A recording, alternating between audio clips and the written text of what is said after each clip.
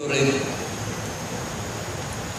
To our uh, uh, guest of honor, uh, Senator Ronald De La Rosa, Secretary Catalino, Catalino Esco, ladies and gentlemen, I would like to express my congratulations to the Dangerous Drugs Board, their partner and other stakeholders for coming today to celebrate the year's observance of the Drug Abuse Prevention and Control Week with the theme, Katarungan para sa kalusugan, kalusugan para sa katarungan.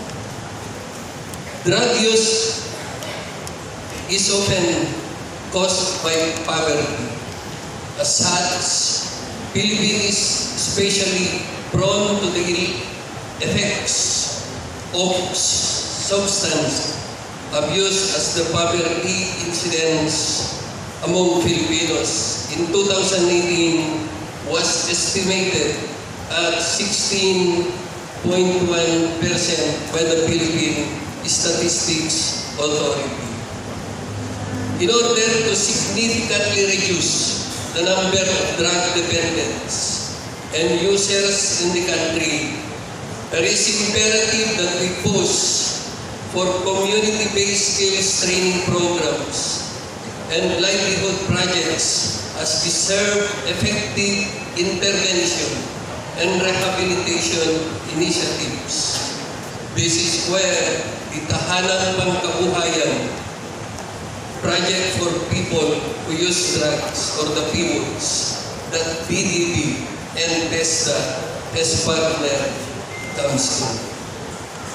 Through this joint project, Tahanang Pangkabuhayan, I am confident that we will be able to reach and uplift more Filipinos who had once fallen victim to drug abuse but have chosen to reform themselves.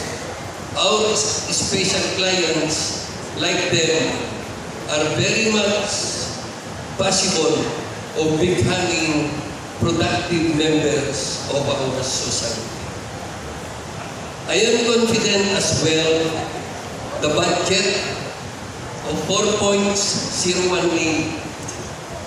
from the DDB will be put to good use to implement suitable community-based training programs. This will also be utilized to provide for the starter kits of our qualified graduates of these programs. For this year alone, as of September 2019, we have recorded a total of 11,291 drug surrenderers who have enrolled in TESTA training programs nationwide.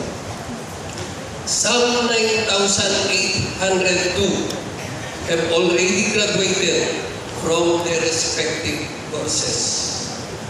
According to our data, Caraga region has so far the most number of graduates at 2,532 who are former drug users and dependents and had benefited from various training programs. Through this Tahanang Pangkabuhayan project, we hope to see more economic growth and significant improvement in the peace and order situation of many of our communities in the future. On behalf of TESDA, I once again thank the Dangerous Drugs Board. This partnership allows us to further our trust in enabling more Filipinos to find gainful employment and positively change their quality of life. Maraming salamat and we look forward to more partnership and community-centric projects in the future.